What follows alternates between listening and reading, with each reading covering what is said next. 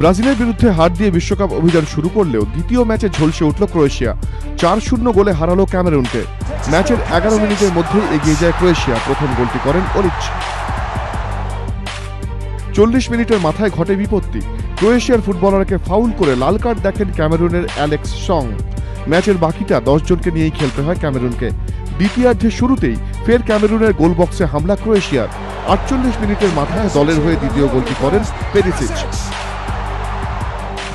এর তেরো মিনিটের মাথায় দুরন্ত গোল করেন মানজুকিচ!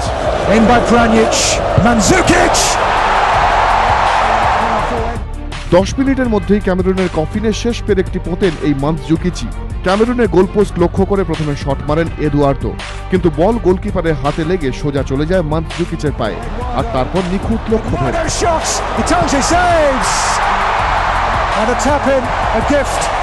এরপর আর ম্যাচে ফিরতে পারেনি ক্যামেরুন। আর এরই সঙ্গে এক ম্যাচ বাকি থাকতেই একই দিনে স্পেনের সঙ্গে ব্রাজিল বিশ্বকাপে ক্যামেরুনেরও বিদায় ঘণ্টা বাজল। এবিপি আনন্দ।